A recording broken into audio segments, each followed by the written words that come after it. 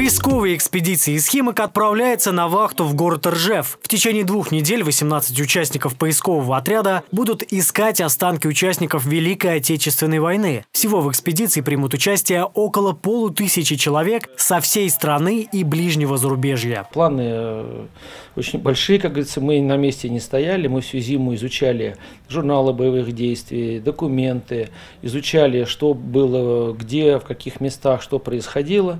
И и, естественно, уже есть наработки, хотим проверить эти места, где что происходило. Изучили материалы аэрофотосъемок 42 -го года, 43 -го года. Накануне отправки проводить волонтеров-поисковиков пришли представители администрации городского округа и региональной общественной организации ветеранов вооруженных сил, а также члены движения «Химки. Интересно жить» Артур Каримов и Марина Эйслер. Общественники поделились своим опытом по работе с виртуальным музеем «Все для фронта, все для победы».